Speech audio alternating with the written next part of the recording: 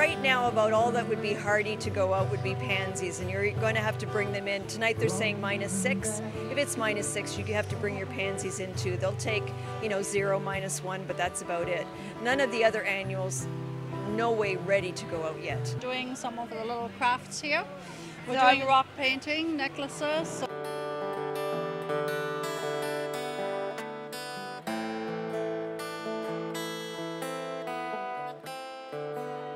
Plant earlier, but the ground is still frozen. Yeah. So nobody can plant anything yet anyway. So they're going to have to wait till the ground thaws and is dry enough to work. Work. If you get into the, the soil when it's soaking wet and you're tromping around in there, you're disturbing the, the texture, you're forcing the, the air out of the soil, you're compacting the soil, not good for the roots of the So it's plants. better just to let it thaw and Exactly. leave it alone Yeah. until um, every, until, every- until the ground's workable.